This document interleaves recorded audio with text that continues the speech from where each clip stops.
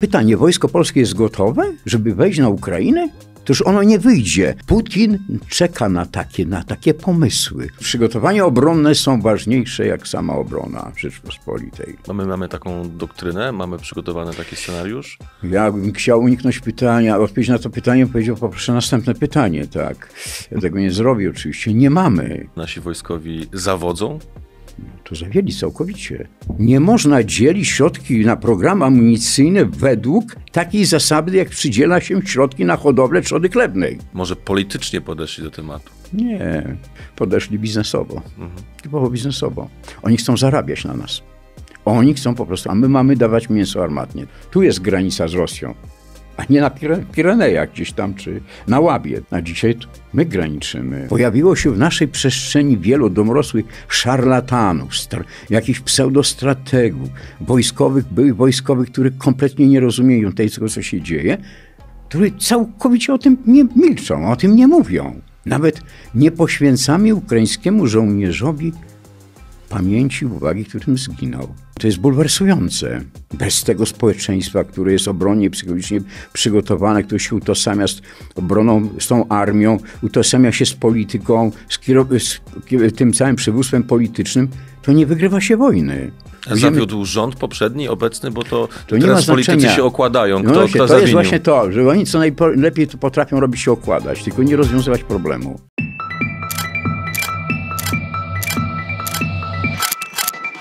A dziś gościem na przekanale jest generał Leon Komornicki, generał dywizji w stanie spoczynku. Dzień dobry, panie generale.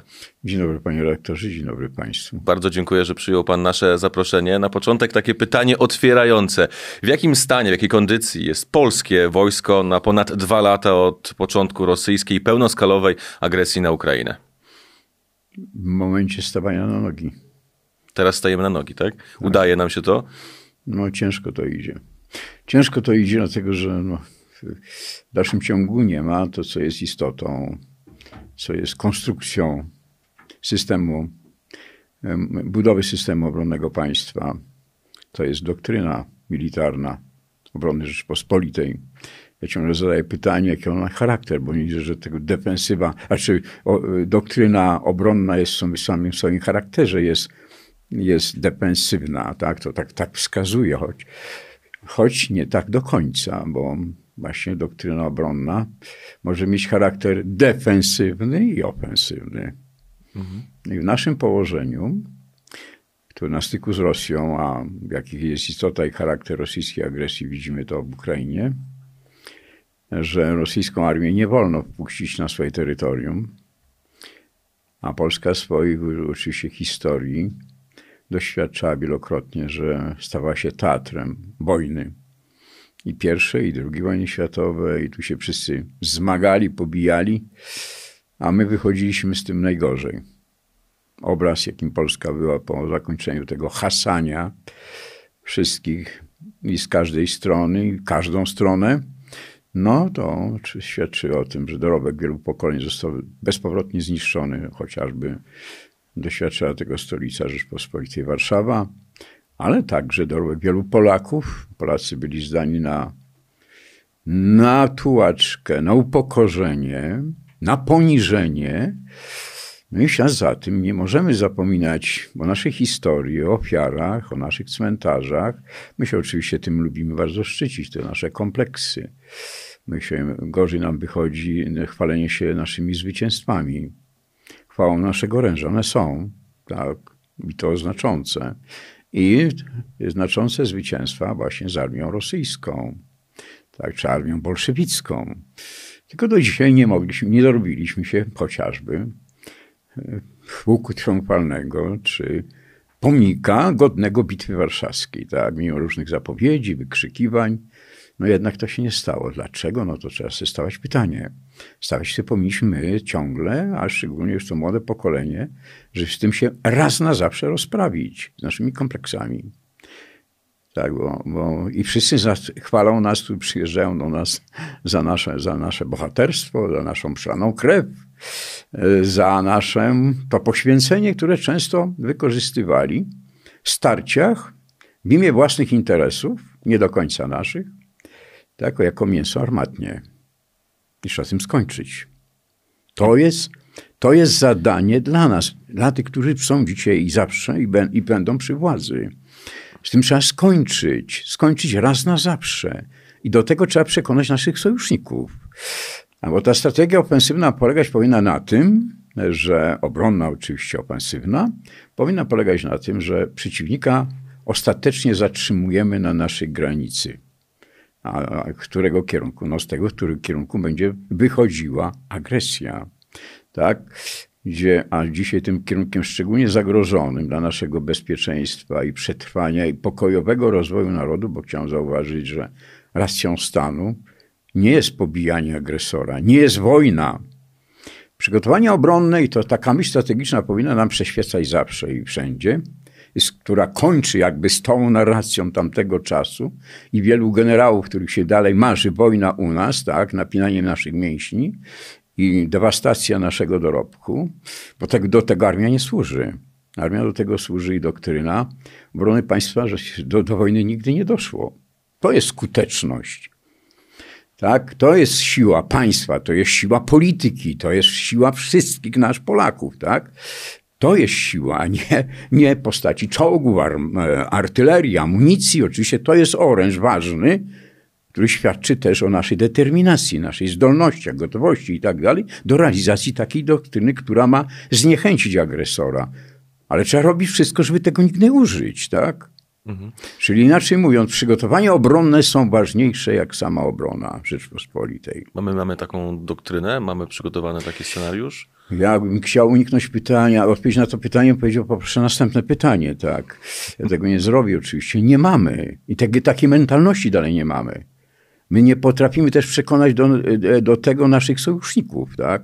Stany Zjednoczone, NATO, bo NATO w dalszym ciągu nie ma takiej doktryny, tak? Zresztą sama wojna w Ukrainie pokazuje, że no, boją się, boją się, rosyjskie zastraszanie działa. Ukraińska armia do dzisiaj nie została wyposażona w samoloty, rakiety dalekiego zasięgu, czyli systemy walki dalekiego zasięgu, tak, które pozwalałyby po, odcinać, czy porażać zasoby rosyjskie na terytorium Rosji, odcinając te wojska rosyjskie walczące w Ukrainie od właśnie tych zasobów. Mhm. Bo jak pan wie dobrze, i szanowni państwo wiecie, to ognisko tak długo płonie, jak do tego ogniska będziemy dostarczać paliwo. Będzie dostarczany tlen, opał i tak dalej, będzie płonąć. No. No to jak można tą wojnę w Ukrainie zgasić? Inaczej mówiąc, jak Ukraina może tą wojnę wygrać, kiedy nie ma tych narzędzi walki, które pozwolą odciąć to dopływ właśnie tego opału i tego tlenu do płonącego ognia w Ukrainie. Teraz tak? mam wrażenie, że jednak obserwujemy pewnego rodzaju poruszenie. Wielu przywódców mówi, że no, trzeba dozbrajać Ukrainę, że to jest taki krytyczny moment, że, no Rosja, tak, że Rosja odbudowuje swoje, swoje, jest... swoje czołgi, sprzęt cały militarny w dosyć szybkim tempie. To jest zabawne oczywiście. To są często deklaracje, które idą w parze z, z czynami, idą z faktami, bo to nie, to nie w tym rzecz, że mieć zdolności w postaci czołgów, postaci rakiet, postaci samolotów wypasionych, wypasionych czołgów, najnowszych technologii i tak dalej. No ale często jak je popatrzymy na współczesne pole walki, czy to, tą wojnę przemysłową i europejski teatr działań, to one w wymiarze lądowym są mało przydatne. Względem jaką rzecz? No, to, co jest, świadczy o tych zdolnościach ofensywnych, chociażby wojska pancernych, że w użyciu decyduje dostępność terenu. Czołgi nie próbają. A wojna w Ukrainie pokazuje, że na tych bezdrożach, że czołgi zjadą z dróg, one są bezradne. One tracą swoje zdolności manewrowe, mobilne i tak dalej. Stają się ciężarem dla wojsk, które walczą. Zostają z tyłu. Gramolą się. Są za ciężkie są nieprzystosowane do infrastruktury drogowo-mostowej, czy odwrotnie, drogo, infrastruktura drogowo-mostowa jest nieprzystosowana do ich użycia na dobrą sprawę. Nieuwzględniony jest właśnie charakter gruntu, gleby i konsystencji.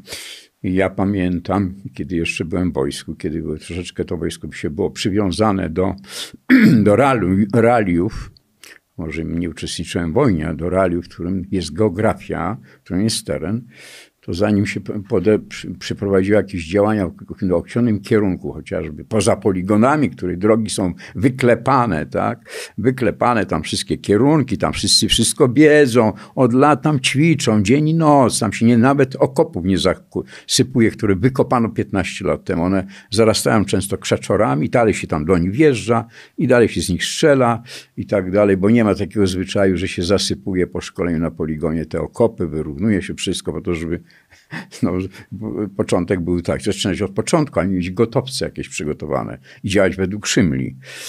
Tak, to myśmy, wojska inżynieryjne przeprowadzały badania gruntu. Robią się takie odwierty, bo czasem może być tak, że powierzchnia gleby jest sucha na 30-40 centymetrów, ale wejdzie ciężki czołg, który ma gąsienicę, tak? A te gąsienice, popatrzymy, ogniwa tych gąsienic takimi zęborami, to tą wierzchnię zrywają i po, po chwili się zagrzebują, bo tam już jest miękko.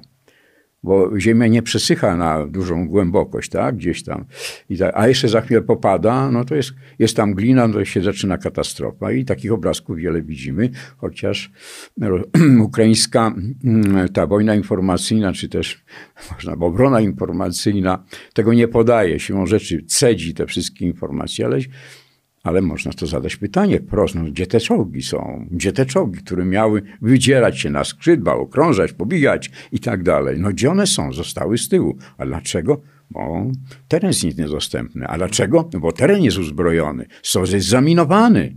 A miny, żeby je rozpoznać, no to nie da się tak na węch, tak? Nie, to też rozpoznanie nie działa tutaj, bo one są zaryte w ziemi. Chyba, że w ręce tego, tych armii, która naciera, padnie plan minowania, tak? Tani dokument, ściśle tani, jak, jak jest to zaminowane. Jak tego nie ma, no to trzeba to rozpoznać najpierw. A gdzie były grupy rozpoznawcze torujące ukraińskie armii, które powinny pójść pod ogniem artylerii najpierw, zanim ruszą zgrupowania uderzeniowe, rozpoznać, rozminować i dopiero stworzyć te korytarze pod, znowu pod ogniem artylerii, żeby one mogły uderzyć, tak? Żeby wikłania się w walkę, bez zatrzymań te czołgi mogły wyzyskać swoje, swoje, swoje walory bojowe. Gdzie to było?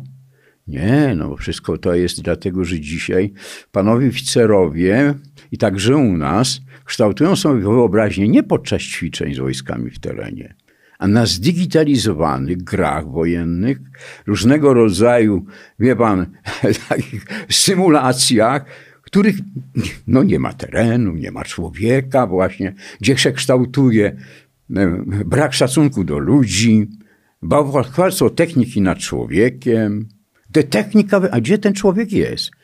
Czy Państwo spotykacie, czy Pan spotyka jakieś uczciwe analizy w tej przestrzeni, o, które pokazują, jaki jest stan ukraińskiego żołnierza? Kto to ocenia? Pojawiło się w naszej przestrzeni wielu domorosłych szarlatanów, jakichś pseudostrategów, wojskowych, byłych wojskowych, których kompletnie nie rozumieją tego, co się dzieje, którzy całkowicie o tym nie milczą, o tym nie mówią. Nawet nie poświęcamy ukraińskiemu żołnierzowi pamięci, uwagi, którym zginął. Jestem na konferencji Mikołajka, wiem, to jest bulwersujące. A przecież człowiek jest fundamentem. System obronnego państwa jest społeczeństwo.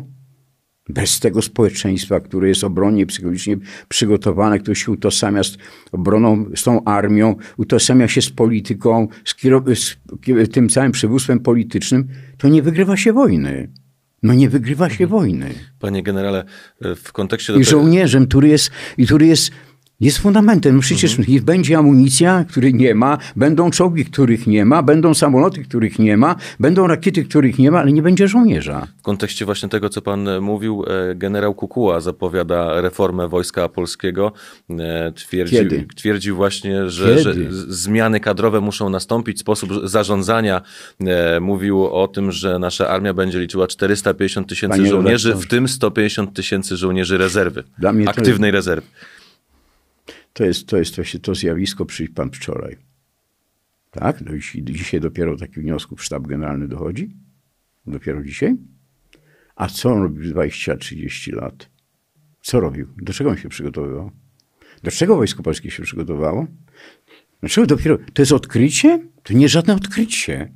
To jest po prostu świadczy o czym? O ubóstwie. To świadczy o tym, że odkrywamy to, co dawno zostało odkryte. Tylko to nie było uwzględniane. Myśmy się oderwali całkowicie od rzeczywistości.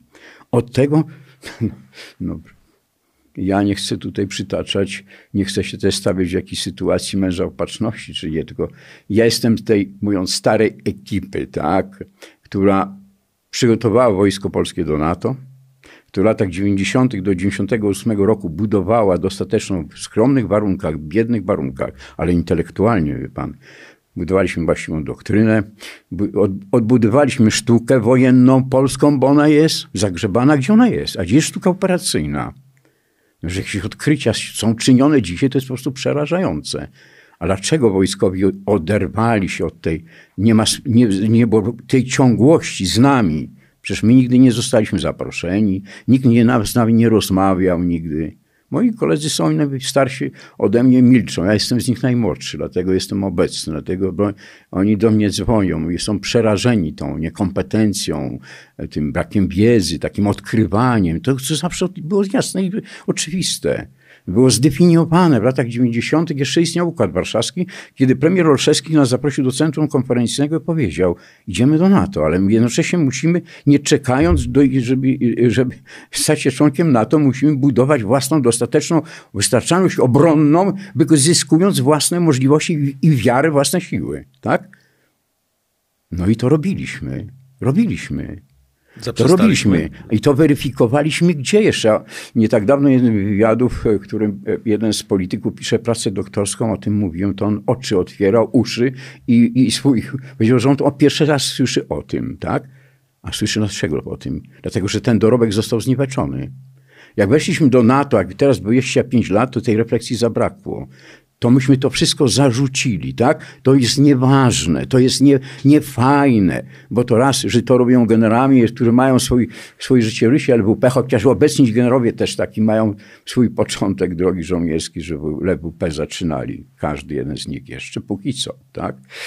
Ale przecież my, nie czekając na to, że się rozpadzi Układ Warszawski i stąd wy, wy opuszczą e, żołnierze armii sowieckiej, to myśmy ten wysiłek podjęli, nie czekając na nic, tak? Nawiązali chociażby współpracę, jak się upadł Układ Warszawski rozpadł z Białorusią. My wojskowi podpisaliśmy porozumienie współpracy z armią białoruską, a później nas przywołano do porządku w 1995 roku. A kto wam kazał? Przecież to jest rosyjska strefa wpływów, tak? Wspólnie ćwiczenia prowadziliśmy z armią ukraińską, białoruską i też ukraińską oczywiście, na poligonie Grodnej i tu w Warszawie, i na Orzyszu. Dowódca Warszawskiego Okręgu Wojskowego, generał Lewiński był odpowiedzialny za te kontakty robocze, a ja, a ja jeździłem na Białoruś i podpisałem porozumienie. Oficerowie armii białoruskiej rozpoczęli studia w naszej Akademii Obronnej. Kto o tym pamięta? Kto o tym mówi? No i później w 10, jak przyszedł kołchoźnik, to się wszyscy kazali odwrócić tyłem do Białorusi i zapomnieć o tym, tak? I, i, i prawie że do Ukrainy. To o czym my to mówimy? Sztab generalny patrzy 20-30 lat do przodu. Tak, i on wskazuje. Myśmy powiedzieli, siadając, pamiętam pierwsze posiedzenie zespołu szefa sztabu generalnego, że za 20-30 lat Rosja stanie na kolanach i ona nam zagrozi. I musimy budować tak swoją siłę, że tą perspektywę uwzględni, żeby zdążyć, tak? I co robiliśmy? To, że niezależnie od tego, że myśleliśmy, jak tą armię przezbrajać, tak, i tak dalej, wiedzieliśmy, że ta armia bez zaplecza, przy którym jest przemysł obronny polski, który nie będzie produkował w 100% amunicję do wszystkich systemów, tak, i w 80% wyposażenie sprzęt wojskowy, to ta armia będzie zdana na łaskę i niełaskę albo sojuszników, albo tych firm, które pod, będą podpisane umowy o zakup techniki i tak dalej, bez transferu technologii i tak dalej. I zawsze stawialiśmy pytanie, dobrze, Wojsko Polskie tak, ale co będzie miał przemysł tego? Bo wiedzieliśmy, że to jest nierozłączna część, bez którego się nie zwycięża wojnie. I co w Ukrainie się dzieje? Czy to nie jest prawda? Czy ta prawda nie kłuje nas w oczy? A co my robimy dalej?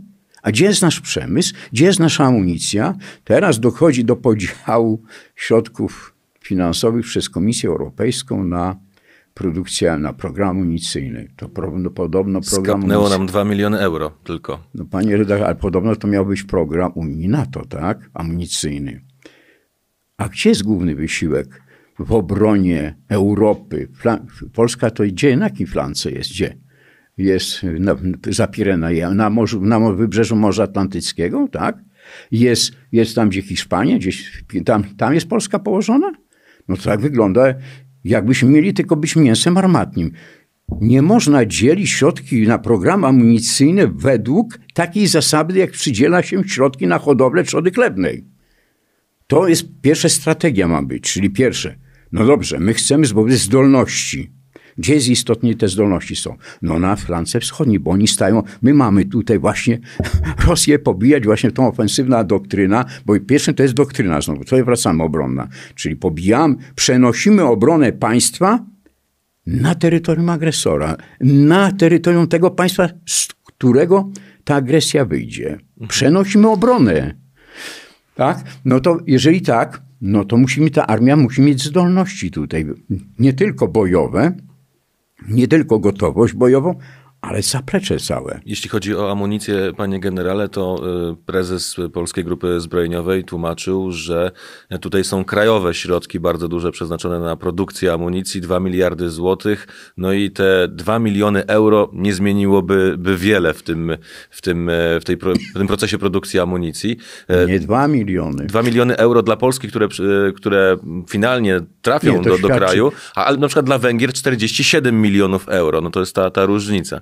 Cała pula to 500 milionów euro. To mówimy o tym projekcie ASAP. A nie, jeszcze raz powtarzam. Najpierw powinna być strategia. Pierwsze, natowska i Unii Europejskiej. Budowanie zdolności zaplecza, zaplecza, tak? które ma zabezpieczyć wschodnią flankę NATO, bo tu jest granica z Rosją, a nie na Pirenejach gdzieś tam, czy na Łabie, tak? To kiedyś jak był Układ Warszawski był, to było z RFN-em i tu NRD było, tak? A dzisiaj my graniczymy. Rumunia, tak? Litwa, Łotwa, Estonia. Tutaj jest największe, a gdzie jest największe zagrożenie? To jest na tym kierunku właśnie, tak? Gdzie jest Polska. Mhm. W związku z tym trzeba zbudować tutaj zaplecze, tak? Tu trzeba. I to powinno być, jeżeli tu ktoś tak ocenił i chcieli do tym fachowca, a nie księgowy, który dzielił te pieniądze, bo to jest podział księgowego. Taki księgowy tak sobie podzielił, konkurs rozstrzygnął. No może podział polityczny.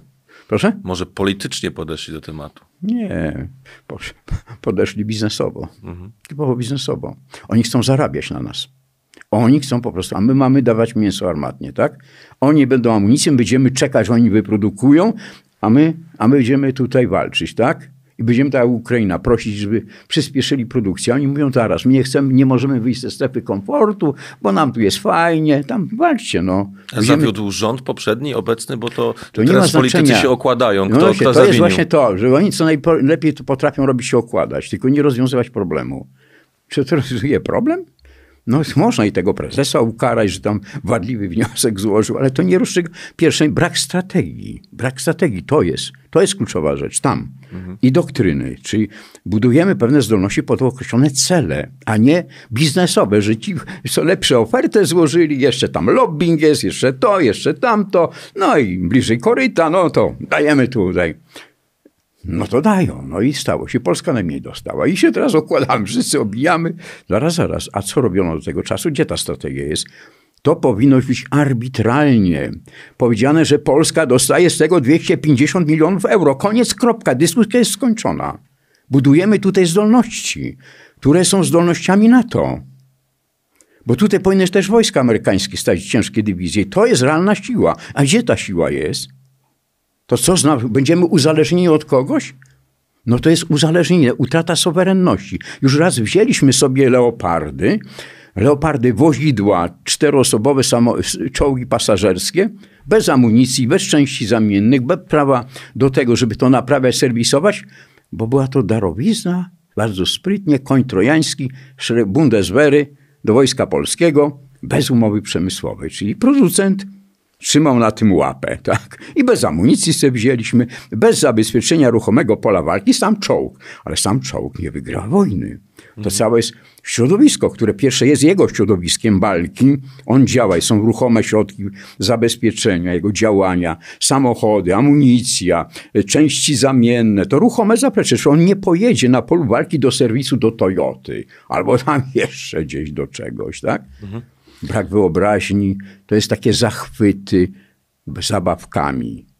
systemy walki, systemy same walki, czyli które działają w określonych środowiskach innych systemów i tworząc jednocześnie system siły obronnej państwa, czy siły, siły, siły wojska polskiego, czy danej armii. To jest wtedy, kiedy to wszystko jest ze sobą spójne, czyli rozpoznanie, dowodzenie, tak, cały system i oprzyrządowanie, obrona powietrzna kraju, tak, obrona przeciwlotnicza, powszechna, dojdziemy jeszcze do społeczeństwa, tak, tego fundamentu właśnie. Do obrony cywilnej, tak, to jeszcze A, przed no, nami. To, to jeszcze nie tylko obrona cywilna, tak, to to wszystko wojska inżynieryjne, y, y, wojska, wojska przeciwchemiczne, tak, służba medyczna, całe zaplecze, ty logistyka, weź przemysł obronny, jego zdolność, jego zdolność i też zdolność potencjału gospodarczego państwa, w tym przemysłu obronnego, dokonania konwersji na potrzeby wojenne, czyli uruchomienia chociażby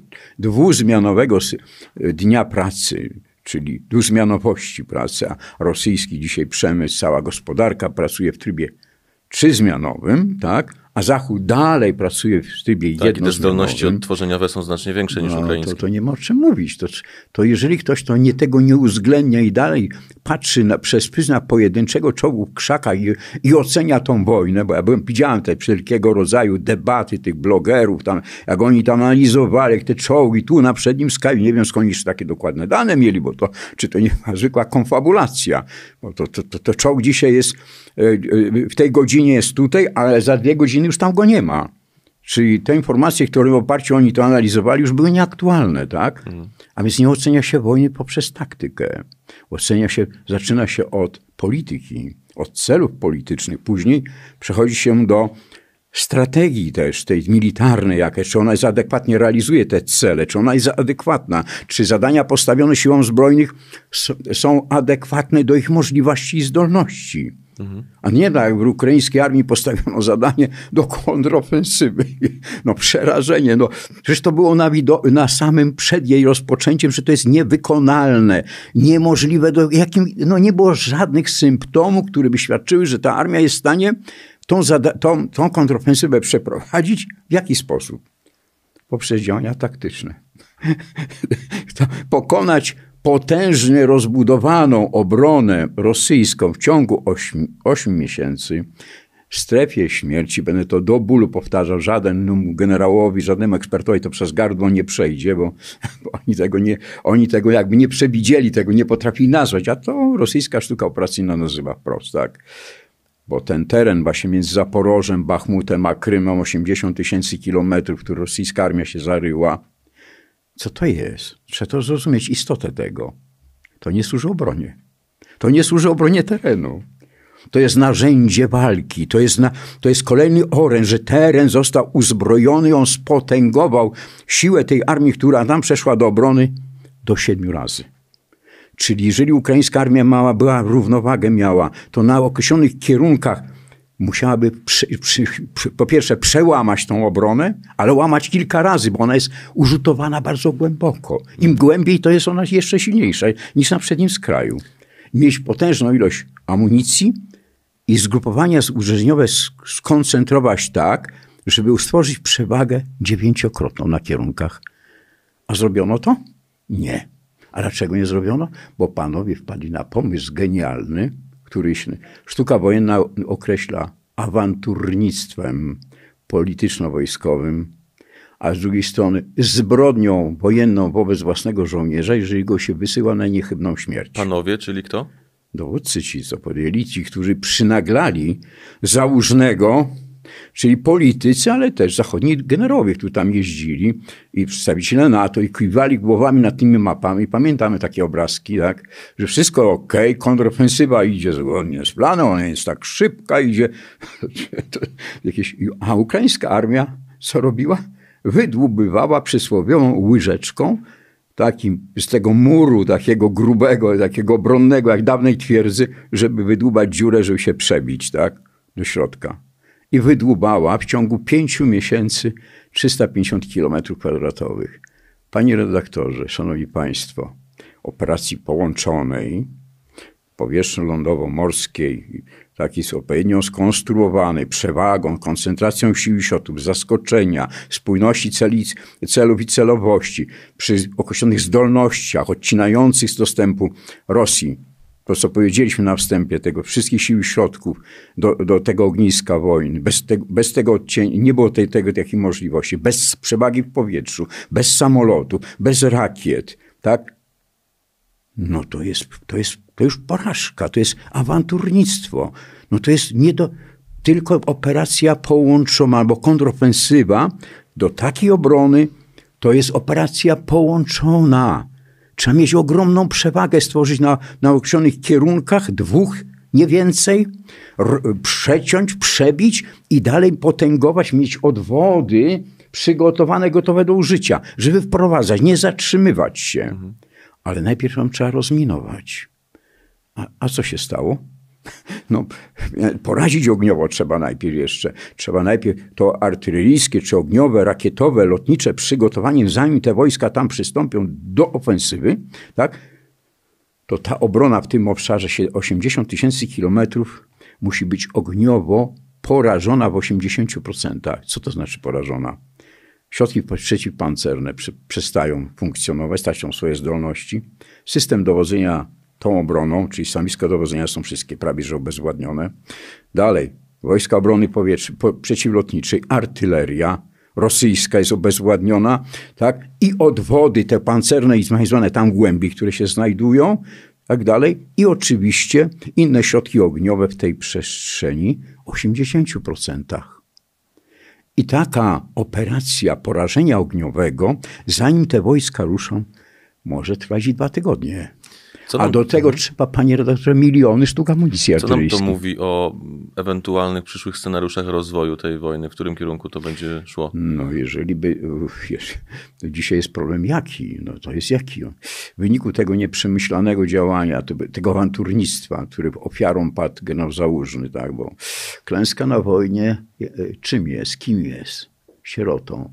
Ale jaką sierotą? Żołnierskim mundurze. Załużny został sam. Dzieci, co go tak prawie, że pomnik mu stawiali, bohater narodowy i tak dalej. On jedną błąd popełnił jaki? Że uległ. Bo on powinien nie ulec.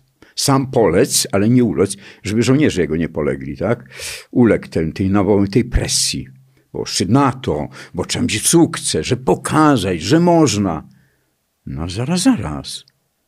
On dobrze rozpoczął, kiedy w 2022 roku, w miesiącu lipcu, te dwa, dwa działania ofensywne na kierunku hersońskim, tu na południu i na północy od Bałakija, Kupiańska i Swatowe, te dwa uderzenia uderzył w skrzydła, najsłabsze miejsca i zaczął w oparciu tą ofensywę w oparciu o, naszą technikę Wojska Polskiego.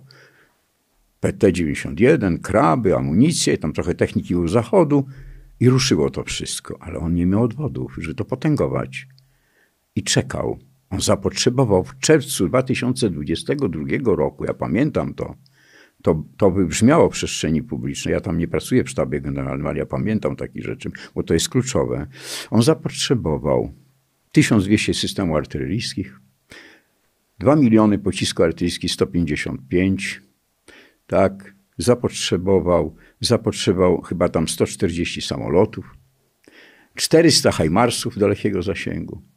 My, my 500 kupujemy, tak? W Stanach Zjednoczonych.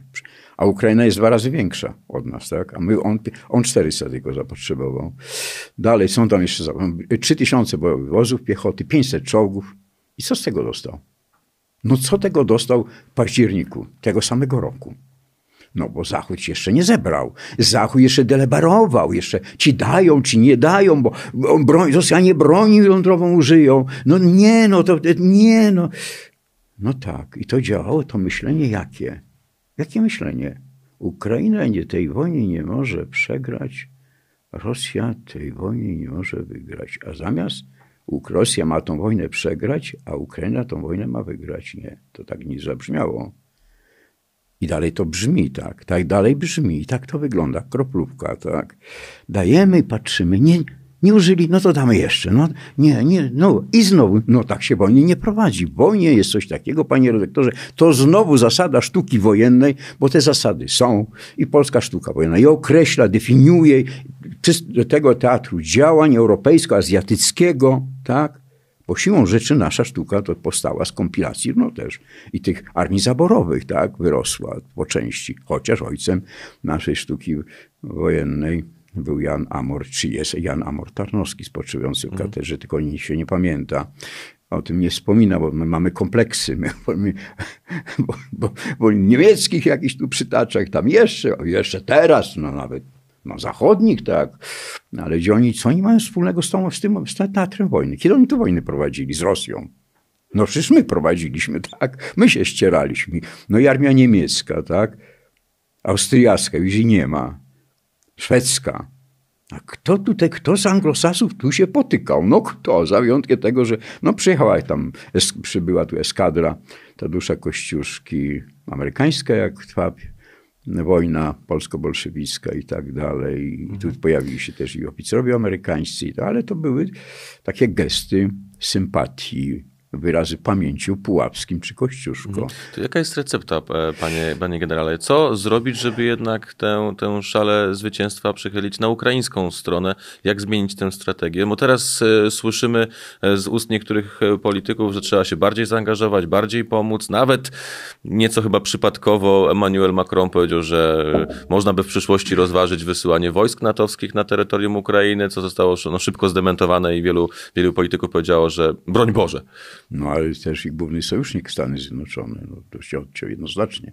No, to jak można bez głównego sojusznika, bez uzgodnień z sojusznikami takie coś dyrdy mały wygłaszać? No to tylko Macron chyba to mógł się źle obudzić, albo źle wyspać, albo nie wiem, no to nawet nie zbilansował swoje możliwości, bo no gdzie jest armia francuska? Jakie ma zdolności, z wyjątkiem zdolności ekspedycyjnych, gdzieś tam w Afryce i to zresztą też tam po kościach dostało od grupy Wagnera. Przegonili z Mali, tak? Mówią, że tam społeczeństwo było antyfrancuskie. No zaraz, zaraz, no to nie, no nie te, te nastroje nie wyrosły przecież na kamieniu, tak? No to jak? No oni chcą tu wejść do Ukrainy? Chcą, oni chcą wejść? Jak? A nie dali amunicji ukraińskiej armii. Dzisiaj ukraińska armia ma limitowaną amunicję. Żołnierz ukraiński ma często bez broni osobistej, jest po pas w błocie pół roku, nieluzowany, i oni takie rzeczy wygadują? Czy, czy, czy to jest poważne?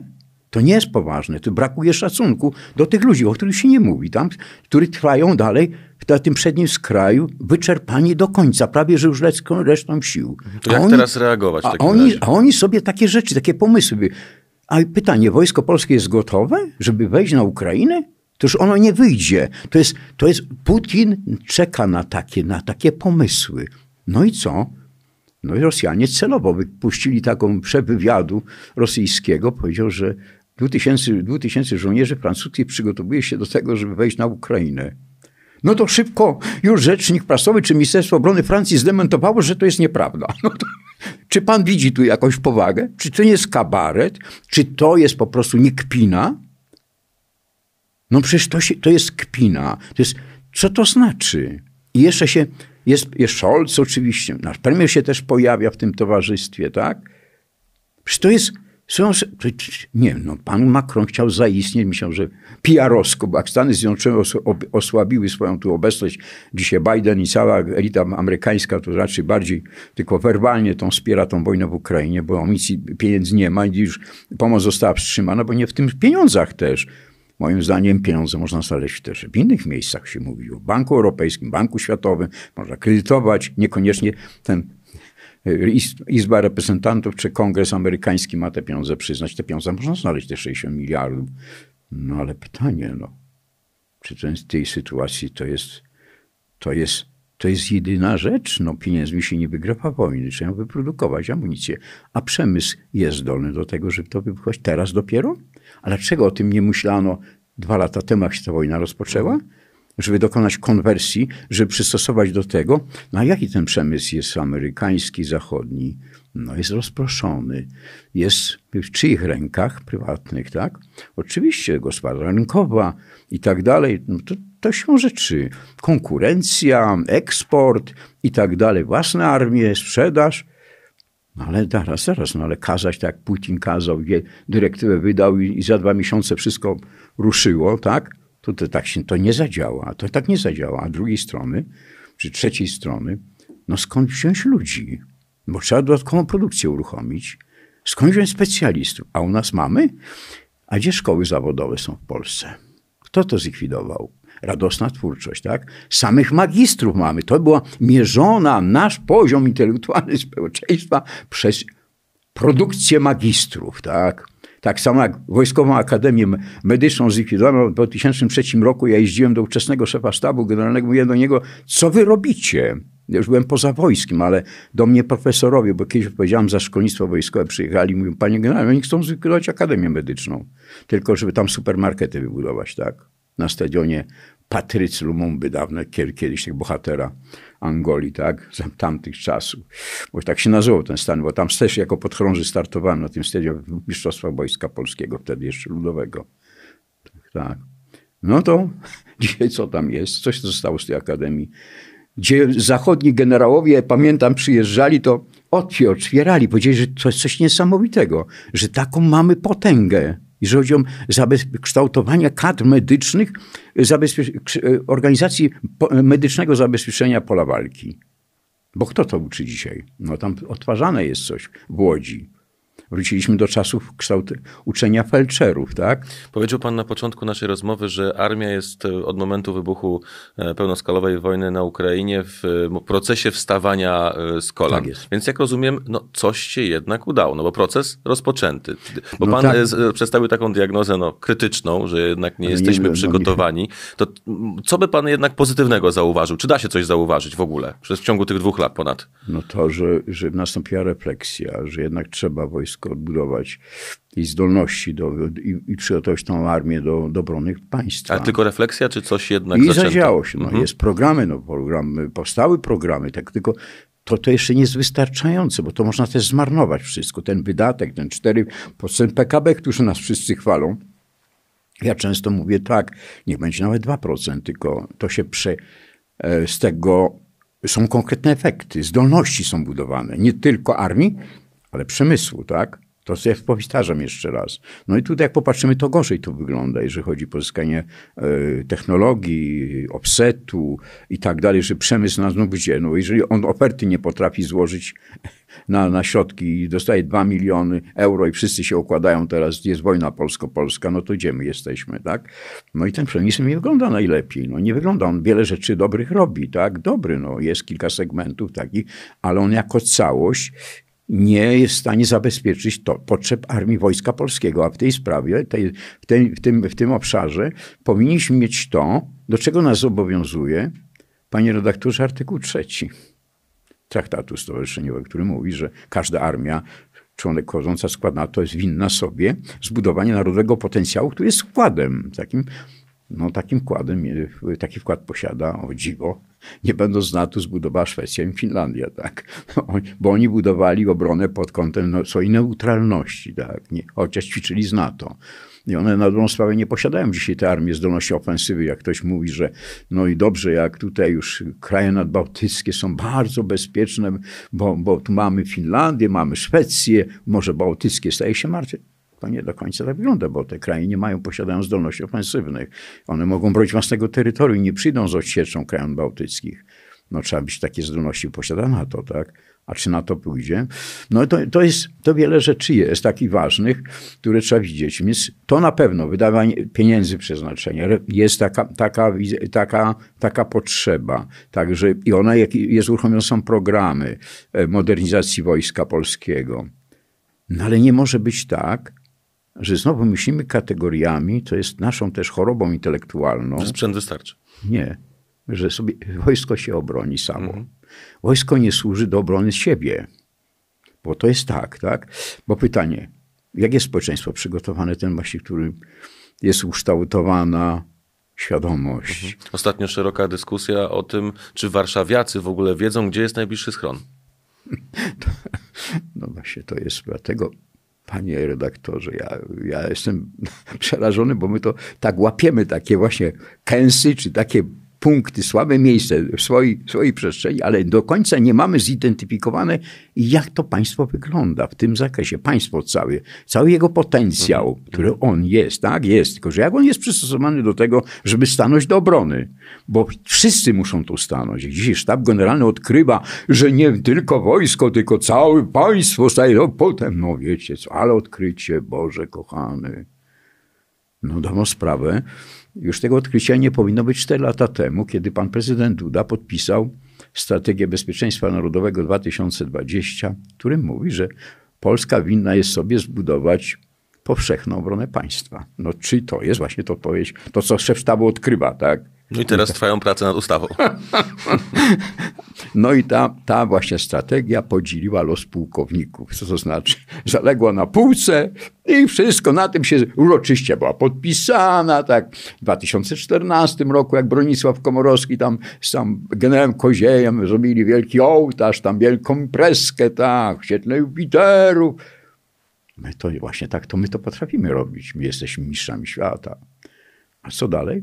To jak tej tajze, wie pan, tam na, tak, na szczytach drzew, na szczytach tych, tych, tych, tych jodeł, tam wiatr hula. I szyszka, która nam spadnie z tego wierzchołka, spada, tu nikt tam już tego nie słyszy, tam jak ona spadła na ziemi, już nie widzi tego. Nic, cisza. Są dokumenty wykonawcze? Czy wszyscy stanęli w szyku i powiedzieli, robimy, budujemy, a gdzie ona, ta obrona powszechna jest? Jak dzisiaj my odkrywamy, że obrona cywilna, że społeczeństwo jest, ale dobrze, ale, ale zacząć trzeba od tego, od edukacji. Mamy system edukacji obronnej społeczeństwa? A kto za to odpowiada? A jak to jest w trybie wykonawczym tej strategii powinno wyglądać? A kiedy taka strategia powinna być? Zawsze. Kiedy? Chwilą wejścia do NATO. Nikt nie zwolnił nas z realizacji artykułu trzeciego Traktatu Bisztońskiego. My się sobie sami wypisaliśmy zwolnienie z tego, bo nam było to wygodne.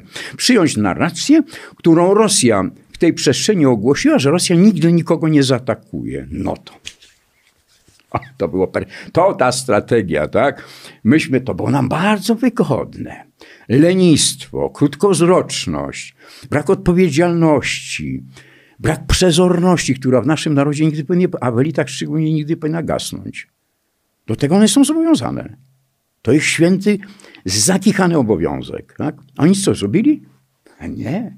Armia rosyjska, wy jeszcze taką wy, wykreowali, bez nawet lepsi byli jak sami dezinformatorzy w armii rosyjskiej. Lepsi. Pobili po prostu ich. Rosja jest słaba, nigdy z kolan nie wstanie, a w koszarach będzie trzymać gołębie pokoju. Mam rozumieć, panie generale, że nasi wojskowi zawodzą? No to zawiedli całkowicie.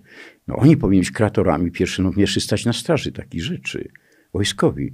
Myśmy te plany robili. Myśmy, myśmy się uczyli wojować z Rosją. Byliśmy, ja, ja prowadziłem, no mam na to dokumenty, to nie są moje jakieś tam konfabulacje, jak u nas te konfabulacje dzisiaj, jak się wy, wy, zmyśla, wymyśla, jak wojnę trzeba prowadzić, co to jest ta wojna. To, to, to są po prostu radosna twórczość. To, nie, to jest, nic nie nadaje do tego, żeby to wykorzystać do tego, że to sztukę wojenną, na to jakieś tak myśli, które można wykorzystać.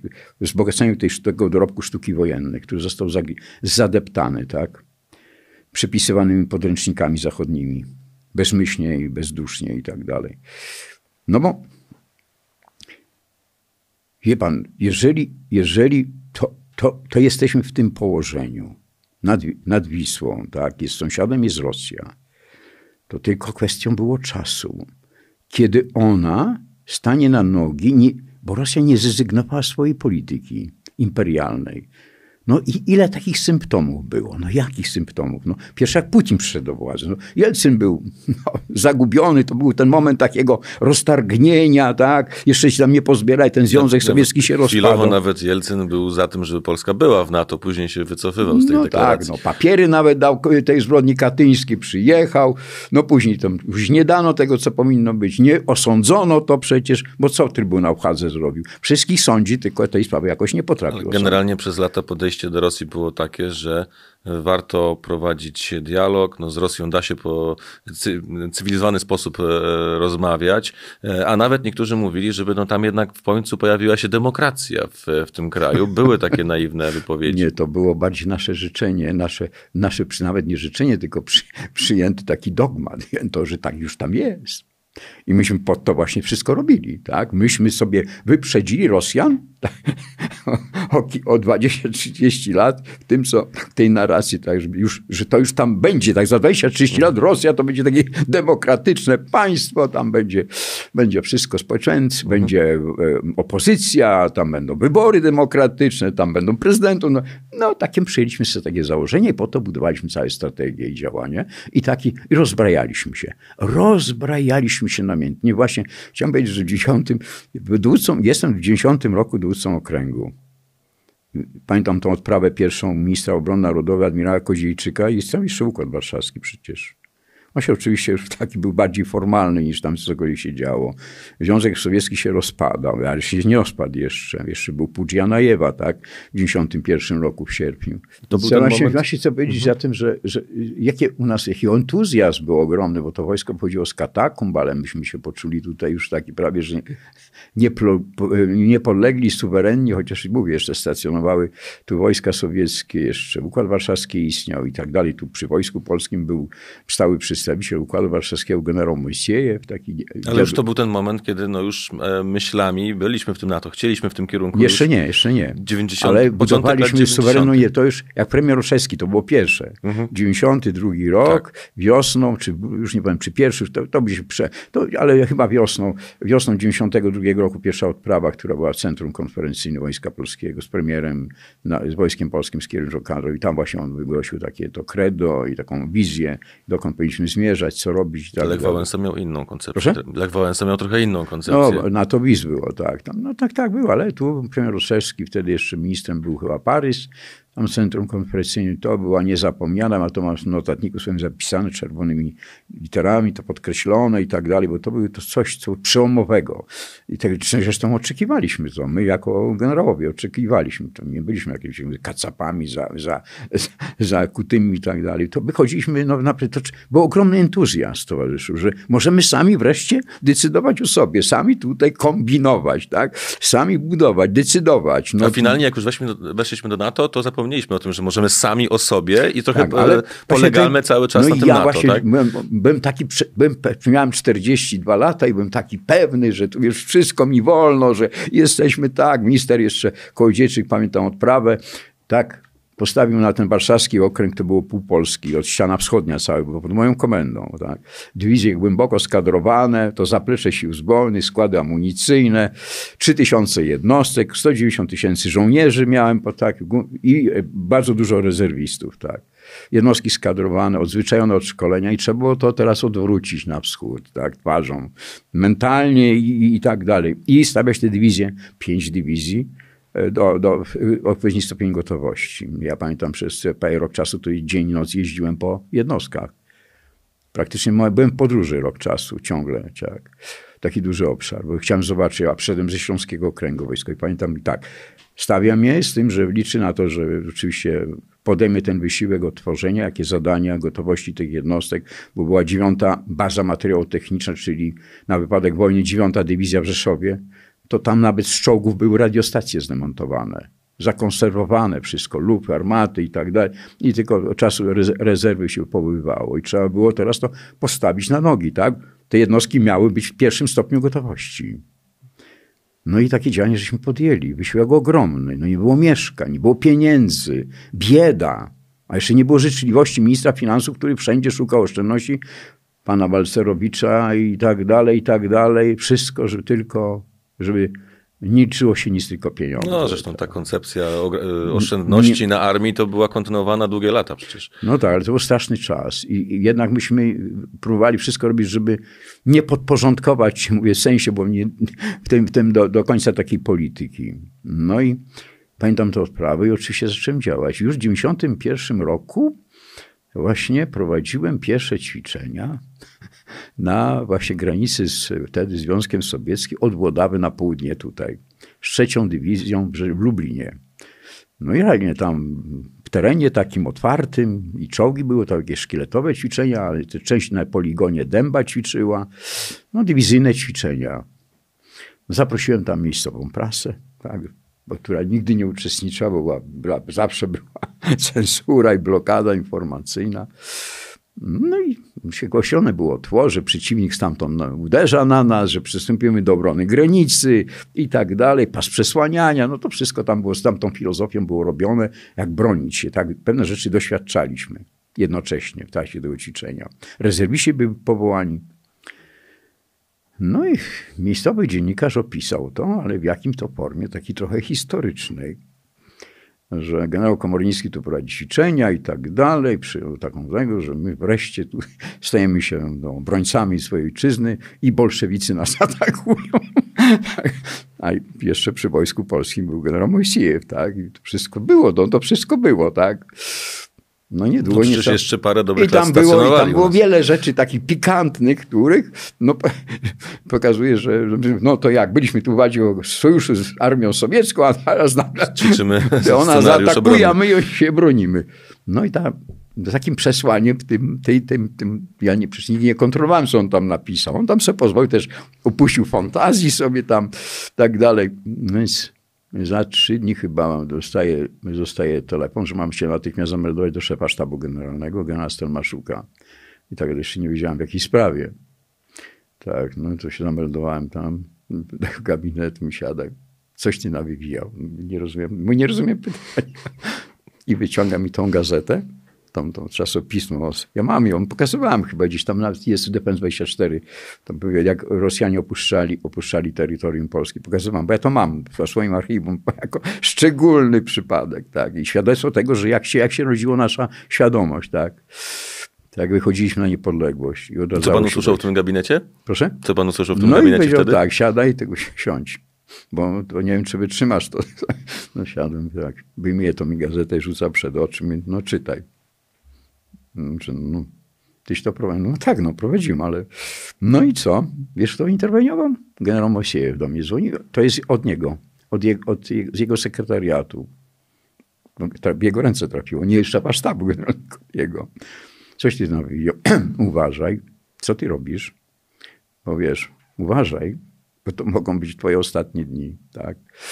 No więc tylko tyle, jeszcze za wcześnie, za wcześnie jeszcze. Jeszcze poczekaj, poczekaj. Jeszcze za wcześnie. No tak, długie I, lata, i Tego, I teraz na tym, i tam była dekretacja na odwrotnej stronie, że to mam. Generał Komornicki, proszę wyjaśnić i tak dalej, interweniował sam generał Mosiejew. Tak? Czyli przedstawiciel Układu Warszawskiego przy Wojsku Polskim. Tak? I Oczywiście robiłem dalej to samo, tylko trochę sprytniej. Nie tak już, żeby tego... Nie tak otwarcie. Ale, no, ale dywizję nie trzeba, prasy. Nie było czasu, trzeba ustawiać, dywizję rozwijać, tak? No tak. Kadry ściągałem. Przecież ja wszystkich dowódców dywizji wtedy wymieniłem, bo byli pułkownicy, którzy mieli blisko 60 lat dowódcami dywizji, czy tych baz materiałowych. To niech wina byli, to odstali całkowicie od wojska. Oni nie potrafili wiele zrozumieć. Gdzie się pojawiałem, to pierwsze pytanie do mnie, panie redaktorze, wie pan jakie było? Czy pan generał poluje? Bo, bo tam jest tej, tym Puszczy Białowieskiej albo tam w jakimś kompleksie leśnym jest już podkarmione, tak? Czyli można. A ja mówię, iść. proszę wiecać mapę, jakie zadania dywizja ma na wypadek wojny. No i tu był. Czyli tu pan z konkretnymi oczekiwaniami, a oni, a oni inne obraz. zajęcia. Pamiętam jeden, to jest taka zabawna historia, właśnie jeden z oficerów yy, okulary założył, miał to napisane, co ma powiedzieć, kompletnie nie mógł parę zdań zbudować, bo tego nigdy nie, nie ćwiczył. To nie była ich wina. Mhm. No i wyciągnął wskaźnik, który miał dwa metry, ale złapał go tu przy końcu, tak, gdzieś. A ja siedziałem za nim, za takim, takim biurkiem. No i tą mapę on tam referował, ale tym, tym końcówką, która być półtora metra była poza nim, miał po głowie. Co chwilę musiałem uchniki takie robić. No i to, to autentycznie miało miejsce. I jako, że mam zawsze poczucie humoru, mi nie opuszcza, no to mówię, panie pułkownik, czy pan może za chwilę wstrzymać się tutaj od meldowania? Mam pytanie, czy pan jest tutaj, pan posiada rozmiar hełmu 57? On mówi, tak jest, panie generale, mamy taki numer, zaraz tutaj wezwę adiutanta. Ja mówię, dobrze, dobrze, niech pan pułkownik nie wzywa, tylko pan pułkownik proszę uważał ten wskaźnik trochę, albo proszę wziąć to mój, odłożyć ten długi, bo pan tym wskaźnikiem może robi mi krzywdę, bo, bo co chwilę muszę robić uniki. On nie zdawał sprawy, był tak zaperowany. Że końcówka wystawała. Ale to taki, taki czas. Pan zaczął e, tak naprawdę już przygotowywać Wojsko Polskie do scenariusza obronnego. Mija 30 lat, 30 kilka lat. Jesteśmy do tego scenariusza gotowi, przygotowani? No jeszcze nie, jeszcze po drodze co się działo. No ja wiem, że dużo się działo no, po drodze. działo się to tyle, że jak weszliśmy do NATO, to ten potencjał, który ja odtwarzałem, zniknął. Wyparował. W tej przestrzeni najistotniejsze z punktu widzenia interesu obronnego państwa i strategicznej rubieży wschodniej, czyli strategicznego kierunku obrony państwa, gdzie jest pięć kierunków operacyjnych, wyparowały cztery dywizje. Wyparowała 15 położona w Olsztynie, tam w garnizonach, tutaj między innymi Morąg i tak dalej, no, Ostruda, Wyparowała, bo nie było pieniędzy, czy polityka była zupełnie inna? No, czy jedno i drugie de nie facto? Nie no było, było, było pytanie takie, według pytania to działało, na pytanie, no, była to odpowiedź na pytanie, po co? Po co tyle? Po co, na co? 100 tysięcy może nam starczy, i też jeszcze zawodowych, a to jeszcze takich, którzy mają wykonywać misję, nie do obrony kraju, bo zlikwidowano też obronę terytorialną. Ona była, pani redaktor, no była była, tylko myśmy ją też przeformowali na potrzeby obrony państwa. Ona inną rolę w ramach Układu Warszawskiego dobrze zorganizowana była. Była też obrona cywilna kraju, też była. Ją też rozwiązano. To było wszystko niepotrzebne. Jak weszliśmy do NATO, to się zaczęła demolka. Tak, zlikwidowano 15. Dywizję w Olsztynie, która była na tym kierunku operacyjnym grodzieńskim. Zostawiono 16.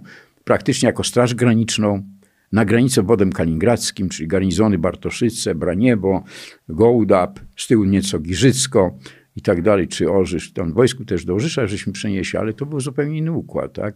15 zlikwidowano całkowicie. I koszary, ośrodek centralny wojsk inżynierów w Wełku, gdzie było to potrzebne na tym kierunku, jak najbardziej. Upatrywaliśmy, że to jest z punktu widzenia obronna w tym terenie on istotną rolę. Ja przerzuciłem, e, na moją prośbę szef sztabu generalnego przychylił się i przerzucił z Trzewa półprzeciwpancerny do Suwałk. On został rozwiązany też na granicy tutaj upatrywaliśmy ten, to nie brama, to nie przesmyk suwalski, a brama y, podla, y, podlaska to jest. On się tak, generał Chodzic okrzcił, no i wszyscy namiętnie, jak te gęsi o tym powtarzają do dzisiaj i wszyscy, i wszyscy, wszyscy. A nasza geografia wojskowa jasno zdefiniowała pięć kierunków. To jest brama właśnie podlaska, ta słynna brama, ten przesmyk suwalski, tak, później, później brama grodzieńska, tam stała 15 dywizja, dzisiaj odtwarzana pierwsza dywizja legionów, tak, na kierunku brzeskim stała pierwsza dywizja pod Warszawą, zlikwidowana w 2011 roku, tak, zostawiona tylko brygada pancerna w jako pokazowa, bo delegacje przyjeżdżają, no to trzeba coś pokazać, tak. Później ją rozstroniono batalionami, tak, bo jak zaczęło się Ukraina w 2014 roku, ministerstwo podjęło decyzję, że coś pokazać, to w hełmie batalion, tak, rozstroniono w przestrzeni operacyjnej to, co może bronić 30 kilometrów, nie więcej, tak, na przestrzeni 250-300 kilometrów. Aberracja. No i kolejna rzecz to była, to była, to była dywizja właśnie trzecia, trzecia w Lublinie na kierunku bramy wołyńskiej, tak? Poniżej i następna, i następna dywizja, dywizja, która, która była w kierunku bramy przemyskiej, e, dywizja dziewiąta, tak? Zlikwidowana. Trzecia zlikwidowana też, tak? A więc to wszystko, to wszystko się działo e, w, w tej cały czas w tej przestrzeni.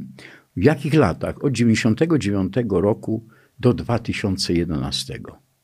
Zlikwidowano bryg trzy brygady obronne. Czyli proces likwidacji, zwijania. No to było tak zwane pod hasłem modernizacji i Uza, uzadawiania, i, tak? sił zbrojnych Wojska Polskiego. To była ta absurdna, to wszystko było pod hasłem, ale dowódcy co meldowali? Co generał Różański meldował panu ministrowi Klichowi? Zlikwidował garnizonów. Tak, Likwido... takie było oczekiwanie. No tak, no właśnie a nie ten, że jak ma zdolność, gotowość bojową, ile rezerwistów, no i zaniechano szkolenie rezerw osobowych. A co to armia w naszym położeniu z armią jednorazowego użytku? Armią ekspedycyjną, która wykonuje zadania tylko poza gdzieś tam w Iraku, Afganistanie, tak? Mhm. Ale to no w 2011, ale w 2011 już ten proces odbudowy się rozpoczął chyba później. Nie, 11 zlikwidowano, w 2011 rozwiązano pierwszą dywizję.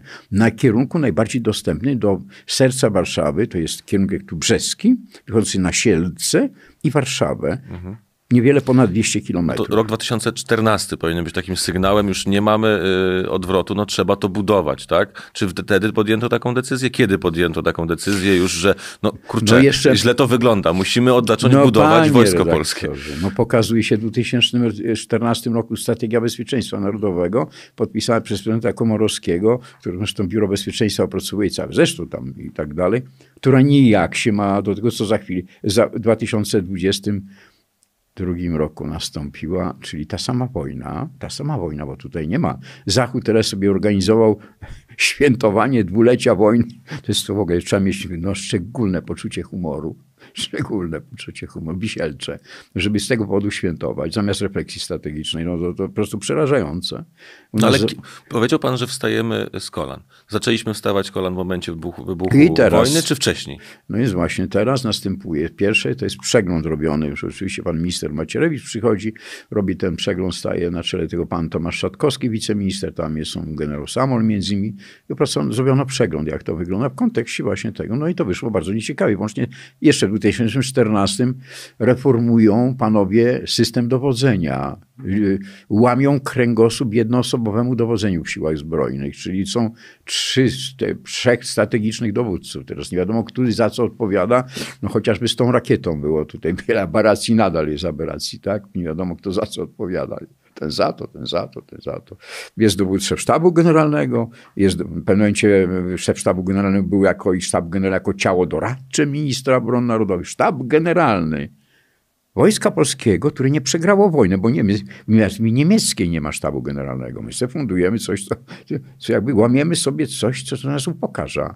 Wojsko Polskie upokarza polską myśl wojskową, polską sztukę wojenną i polskich generałów oficerów. Likwidowany status sztabu generalnego to jest ciało doradcze minister, doradczą funkcję, a są dowództwa jakie operacyjne i, stat- i generalne. Ale ja, za co jeden dowódca tenże operacyjny odpowiada za szkolenie w czasie pokoju, mam się nie mylę, ale jeden z nich na pewno. Znaczy, się szkolenie, przygotowuje tą do wojny, a drugi dowodzi w tym czasie wojny, czyli generalny. Pani rozumie, to tak Wojsko Polskie jest dowodzone dzisiaj dalej, nadal, bo miała być wykonana reforma. No słyszymy cały czas o reformie. Tak? No, ustawa, podobno projekt prezydenta wpłynął do Sejmu, tylko jest to wstrzymane, bo czas jest nieodpowiedni. Ale kiedy on będzie odpowiedni? Jak wojna będzie? Bo dowodzenie siłami zbrojnymi być jasne, przejrzyste, czytelne, jednoznaczne, w którym zachowane jest co? Zasada żołnierska i sztuki wojennej jednoosobowego dowodzenia, jednoosobowego odpowiedzialności i co? I, i, i z drugiej strony no, kompetencje, które pozwalają tym dowodzić, przygotowywać i dowodzi w czasie wojny. Panie generale, czy w związku z e, tym decyzja, która miała miejsce bezpośrednio przed wyborami o no, rezygnacji oficjalnie pana generała Andrzejczaka, pana zaskoczyła? No, kompletnie. Nie spodziewałem się, że szef sztabu generalnego, no to wie pan, co prawda on gdzieś tam w wywiadzie mówił, słuchałem tego wywiadu, fragmentu, wiele rzeczy się nie dało słuchać że on no nie ma dobrego czasu, żeby wybrać, podać się do dymisji zawsze. Ten czas będzie zły, no, ale ten jest, jest czas zły i jest bardzo zły i, i jest super bardzo zły, tak? No wybrał ten trzeci wariant, czyli w ogniu kampanii wyborczej szef sztabu generalnego bez słowa, żeby dać powody do jeszcze rozpętania bitwy politycznej, tak? Tak, między politykami, bo jest kampania wyborcza, no każdy kęs jest tu dobry, no, nie ma świętości, tak.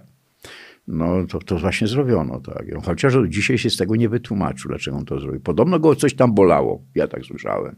No ale 8 lat go nie bolało. Że relacja z ministrem Błaszczakiem, tak? No ale 8 lat go nie bolało, czy 6 lat go nie bolało, bolało bo no wszystko to zawdzięcza, no, będąc właśnie szefem sztabu generalnego, ministrowi obronowi, prezydentowi, którzy by byli do końca na tych stanowiskach razem z nim, tak? Czy on był razem z nimi? Został generałem, mm, no, był, drugą kadencję pełnił, jakoś nie zgłaszał bolesnych tutaj jakichś tam różnego rodzaju sygnałów, które by świadczyły. Co prawda z tą rakietą powstała kakafonia, niezrozumiała dla mnie, się wszyscy zaczęli oskarżać, Tam jest jednoznaczną sprawą zawsze, zawsze, zawsze będzie. Żołnierz ma przystępować do wykonania zadania zgodnego z kompetencjami, a dopiero potem meldować, a nie najpierw meldować i czekać, że kto mu co każe, no bo na tym szczeblu nie ma czasu. Trzeba decyzję podejmować, ale jak nie ma takiej możliwości, Polska jest niesuwerenna, że jeszcze ktoś o tym decyduje, no to trzeba tak to zbudować, żeby ten ktoś te decyzje, czy ten po powiedział tak, czy nie w trybie natychmiastowym, tak? Żeby nie było tak, że rakieta sobie leci i wszyscy czekają, co z nią zrobić. Czekają, a później mówią, no nic się nie stało, Polsko nic się nie stało. No jakby się stało, no to ja nie wiem, co tu się działo. No w sumie już się stało, no z powodu tego, że jedna rakieta spadła na polską ziemię, dwie osoby zginęły. No tak, no to właśnie Więc też. się stało. No też, no i, i później rakieta, ta trzecia, która wleciała też, jak tu tłumaczono, to też tam żołnierskiego tłumaczenia nie było. To jest dla mnie normalnie, jak, jakby to tłumaczył, przepraszam, rolnik tam zamieszkujący to przy, po, przy granicy, no bo jeden z generałów tłumaczył, że ta rakieta wleciała hi, o cechach hipersonicznych, czyli hipersoniczne to są to gdzieś w granicach no, 60 kilometrów e, na, na, w ciągu minuty pokonuje. 60 kilometrów. Jak była 3 minuty, to pokonała 180 km, a nie 40. To co ona tak wleciała? Do, leciała z szybkością hipersoniczną, ale jak zobaczyła granicę polskie, o cholera, hamu, hamulce wszelkie włączyła, zaczęła hamować, się przeraziła. No ale wleciało jej się tą, na tą ter... Mówi, przepraszam cię Polsko, że ja tu nie chciałam, no Putin za chwilę usprawiedliwienie wypisze tam. Tylko nie strzelajcie do mnie, tak? Wleciała. No i co jeszcze ona zrobiła? No dziwnie, że ona zahamowała i wykonała w tył zwrot. No bo tak tłumaczył pan, ten generał, który nam wyjaśniał, że ona wleciała 20 kilometrów i 20, no to była, była 3 minuty. No 40 w sumie kilometrów pokonała tam i z powrotem, tak? No zaraz, zaraz, no rakieta wykonuje jakiś łuk, manewr. Ona musi wlecieć, że ona jest sterowana lub zaprogramowana, to ona to w ciągu 3 minut no to pokonuje 180 kilometrów, tak? No 120 to jest minimum. No coś tu nie pasuje. No, z matematyką też, z arytmetyką jest coś nie tak. Nieznamością sprzętu, czy nie. No to przecież to nie jest wóz drabiniasty z koniem, że który wjeżdża i o, koń, prr, zawracamy. I to ten wóz drabiniasty musi jeszcze tak obrócić się. No, no, no, no, no. Czy ja, czy ci słuchający wszyscy są durniami? Czy nie, w ogóle nie rozumieją, co, o co tu chodzi? No takie wyjaśnienia, jeszcze się dwóch wyjaśnia panów jest. Jeden, drugi wyjaśnia. No to jeżeli to Rosjanie słuchają, a tam naprawdę to nie są durnie, tak? No to oni tam mocno mają, mają zabawę, to mogą nawet sketch z tego zrobić, tak? I tak dalej. Panie generale, często w e, przestrzeni publicznej pojawia się zarzut wobec poprzedniej ekipy. No ale żeby tu skończyć ten temat, Jasne. jeszcze pan o stawanie z kolan. No to już no tak, przewija no ten cały przegląd czas. został zrobiony, tam zostało wskazane, co trzeba zrobić. To dobrze zostało zrobione, mojej oceny. Tam oczywiście można było się czepiać do tego czy innego i trzeba iść tą drogą maszerować, ale to w dalszym ciągu było dyskredytowane. Znali się tacy, którzy to dyskredytowali. No i podjęty został wysiłek. No, była otworzona obrona terytorialna kraju, ale nim byłby niesprawiedliwy. Powiedział, że tu się nic nie stało. Mhm. Bardzo ważny komponent w obronie państwa na styku Rosją. Tak, bo ono zagospodaruje im miejscowa społeczność. Budzi ten patriotyzm lokalny, potrzeba obrony własnego domu. To zawsze powinno być. I tak dalej i wojska operacyjne. Podniesiono, pan ma decyzję, że podnosimy ten potencjał, tak, że no i problem był jeden, no co zrobić z służbą zawodową, czyli z poborem. To jest problem, który polityków bardzo boli, bo się boją tych słupków, tak, notowania. A my nie uciekniemy od tego. Musimy przywrócić pobór, bo dzisiaj ta refleksja już na Zachodzie się pojawia, które są nieco dalej, bo nie, zda, nie, nie podołamy, żebyś nie wiem co robili, chyba że, to o tym powiem jeszcze, tak, żebyśmy to, co, nie tylko zbudowali 350 tysięcy chociaż. Już słyszymy 450 tysięcy, no, z rezerwą 450. A mówią to ci, co jeszcze dyskredytowali 350. Jeszcze zakończyła się kampania, żeby krzykiwali, że to żadne... I generałowie też mówili, że ja no, mogę nazwiska wymienić, że to jest aberracja, jakieś 350. To, w kontekście to poboru wielu polityków dzisiaj mówi, że ta wojna właściwie już tuż, tuż, za 2, 3, 3 lata. Musimy być przygotowani na taki scenariusz, tylko co robimy, tak? Gdzie jest ten pobór w takim razie? No pobór, ale to jeszcze mało, że te 350 to jest armia, która jest w szyku. trzeba koszary, infrastruktura, system szkolenia bojowego, to wszystko infrastruktura, to wszystko jest gdzie ono jest? To wszystko jest część. Gdzie są chociażby stołówki żołnierskie? No ja jestem w Żaganiu, to dowiedziałem 8 pułkiem 5 lat, tam też 34 brygada. Jest, mam spotkania tam z swoimi żołnierzami, bo mam z nimi kontakt od 30 paru, tam 40 już prawie, Boże, jak ten czas leci, tak? kontakt. Oni dzisiaj mają ponad 60 lat. To Ślązacy, ludzie, którzy, większość to była ze Śląska. Trzymamy się razem jako jedna rodzina tam i tak dalej. No i tam zwiedzamy te koszary, idziemy po tych koszarach i na placu tym takim alarmowym jakie złomowisko, kotły powycinane stołówki żołnierskie. Pytam się, co to jest? No bo to w tym kompleksie, gdzie stały trzy pułki, czy trzy brygady, jest jedna tylko stołówka, bo nie ma takiej potrzeby, reszty polikwidowano, to powycinano te kotły. Ja mówię, że wy się oszaleli? Czy co, wy chcecie znowu wykładać pieniądze trzeba, żeby to zrobić? Hala, która była też, no jest jedna hala, bo po co trzy hale? No to jedną halę rozebrali, drugą rozebrali. One przetrwały wojnę, no przetrwały wszystko. Władzę ludową, a Polsce Rzeczpospolitej nie przetrwały, tak. Myślenia takiego.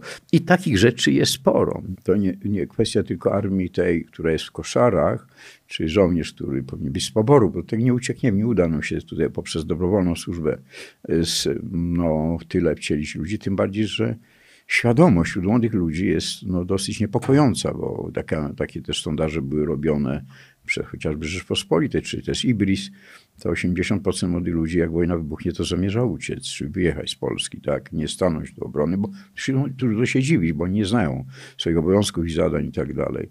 No i nie ma szkolenia obronnego, to przecież to nie się tak, że tą świadomość się nie buduje, taką potrzebę i tak dalej. No to jeszcze nie wszystko, lecz armia ta czasu pokoju powinna posiadać trzykrotnie większe zasoby rezerw osobowych. A nie, że dopiero będą, tylko one już muszą być gotowe. A dlaczego? Po pierwsze, będą straty, trzeba natychmiast uzupełniać.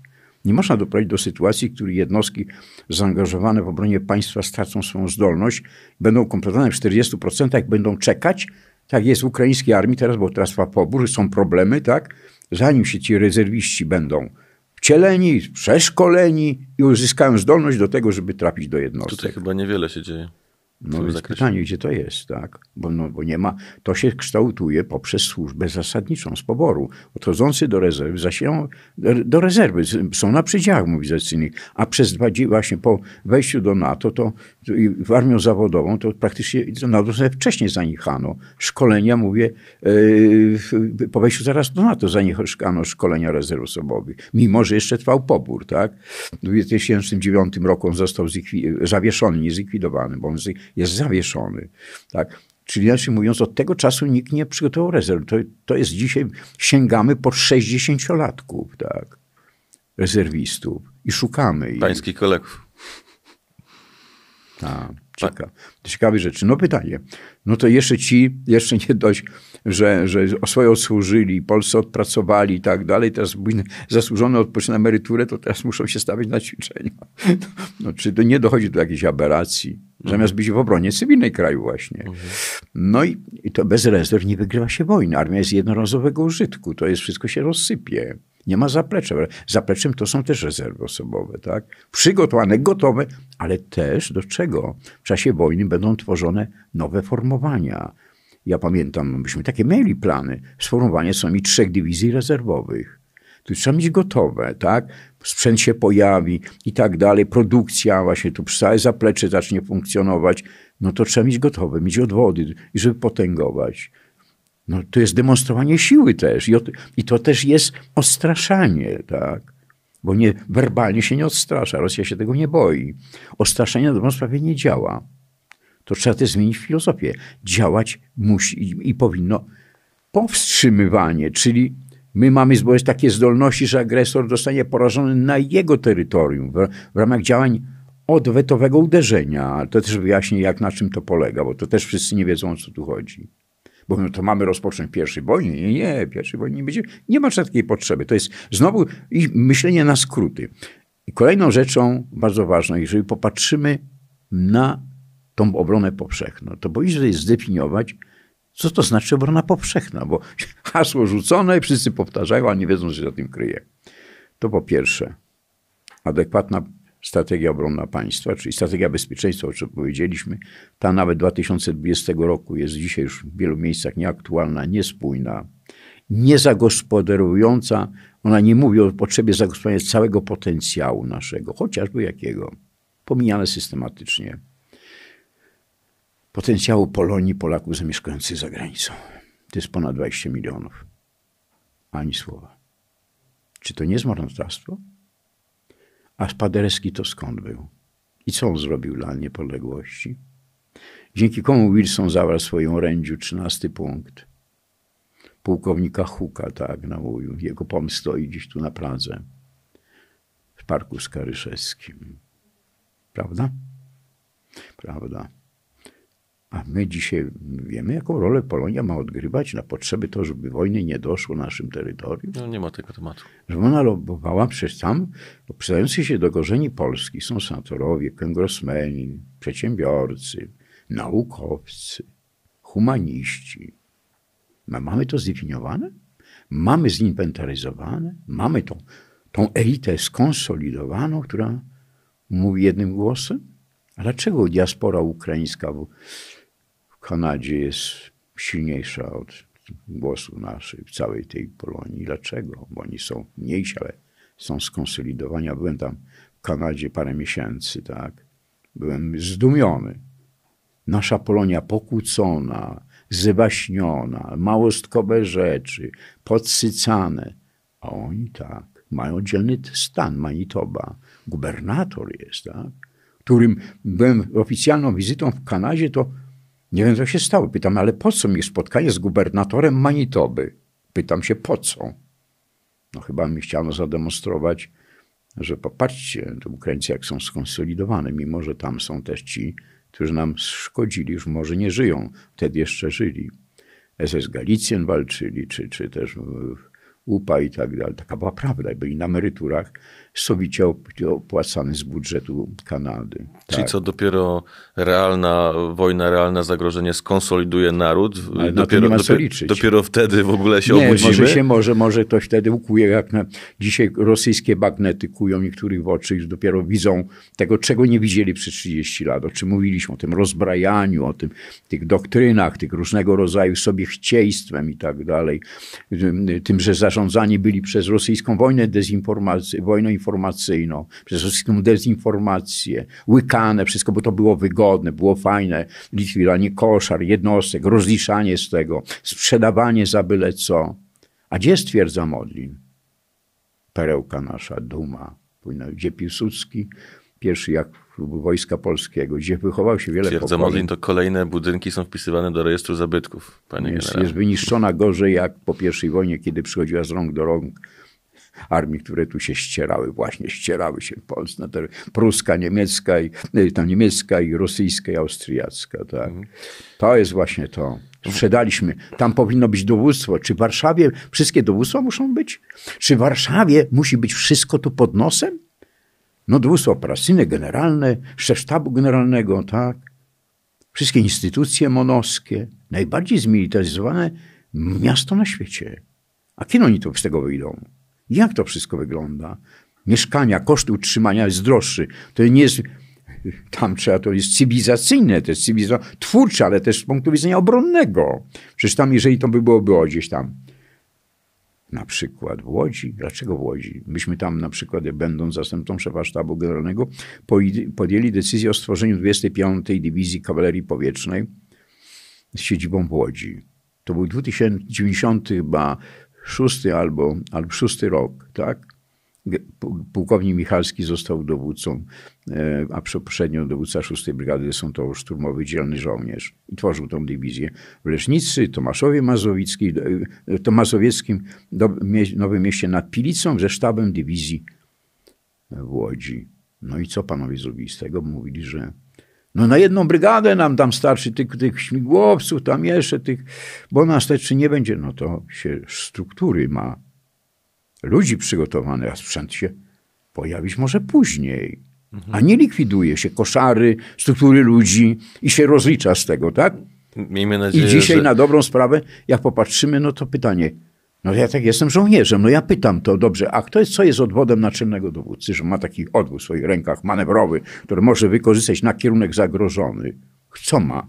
No mamy póki co 16 na granicy, 18 otworzonym tam, gdzie była pierwsza, bo to jest kolejny dobry, dobry ruch, który jest za nami, tak?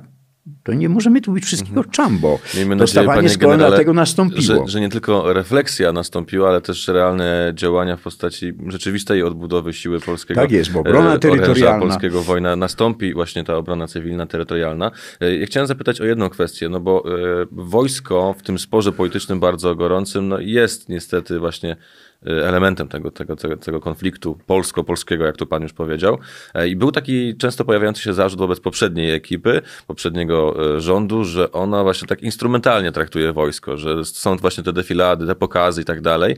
No i na jednej z pierwszych konferencji prasowych nowy szef MON, Władysław Kosiniak-Kamysz, taki gest wykonał, mianowicie w momencie, kiedy zaczął odpowiadać e, na pytania od dziennikarzy niezwiązane z wojskiem, z armią, etc., podziękował podziękował mundurowym, podziękował ja pamiętam, e, wojskowym, żeby oni już przeszli tam, wyszli z sali konferencyjnej, wrócili do swoich e, obowiązków, bo on na tle e, wojskowych nie będzie tej polityki uprawiał, bo de facto później w pytaniach tematy polityczne się pojawiły. No i to jest taki powiedzmy element, taki gest. Pytanie, czy pusty gest, czy pan jednak zauważył trochę zmianę podejścia do, do wojska polskiego? Czy to jest rzeczywiście tylko i wyłącznie gest? Nie, to więc ja trochę inaczej na to patrzę. No to, to, to jest to, że wojsko nie uniknie takich sytuacji. To, to jest moim zdaniem takie, takie to z tego wynikało, że pan minister oczywiście pierwszy jakby raz jest w tym szyku się pojawił, myślał, że ten sposób jakby uniknie takich kłopotliwych sytuacji. I to może być przyjęte jako, no można powiedzieć, z przymurzeniem oka, jako rzecz, która zaistniała, ale to jest Takich rzeczy nie trzeba, nie na tym to polega przecież. No. Nie na tym to polega. Bo wojsko i, wojsko i tak nie może działać w oderwaniu no, od no tej oczywiście, polityki, pan tak? minister też nie będzie za każdym razem każdym tym wojskowym wymaszerowywać czy odmaszerowywać, bo dostanie takie pytanie, no to co, za każdym razem i za chwilę może być to z wojskiem związane, a, a za chwilę może być jakieś tam niezwiązane z wojskiem, tam znowu się pojawi coś, no co za każdym razem będzie wymaszerować, wprowadzić, wymaszerować, no to, to, to wygląda sztucznie. No ale gest został dość pozytywnie odebrany, taki no to, właśnie no to symboliczny. Okay. No my bardzo lubimy takiego, my jesteśmy, kochamy symbolikę. Okej, okay, ale to moim Ale czy zdaniem... rzeczywiście takim realnym podejściu do wojska cokolwiek już się zmieniło po tych kilku miesiącach nowej no, trudno, władzy? To, czy na razie to, to za krótki trudno moment? to ocenić, bo to, to, to, dopiero pokaże kampania wyborcza. No jeszcze to do samorządów trwa, no trudno powiedzieć, że tam już znowu w garnizonach gdzieś oficerowie nie biegają, tam jakieś pikniki, co imprezki robione, tego nie widać, nie słychać. No to, to znaczy, że nie są zaangażowani. Tak. że właśnie w ramach tej kampanii są prowadzone imprezy o charakterze takim, no na styku z społeczeństwem i tam się politycy pokazują no to, to, to, to, to, trzeba tego unikać, bo te imprezki można zorganizować w innym czasie i to lepszy będzie miał efekt, lepiej pokoju, bo nie będzie opozycja, każda partia wykorzystywać do bitwy politycznej i obrzydzać wojsko, i zniechęcać społeczeństwo do wojska. No, no to trzeba być no, też na takim wymiarze patrzeć, tak?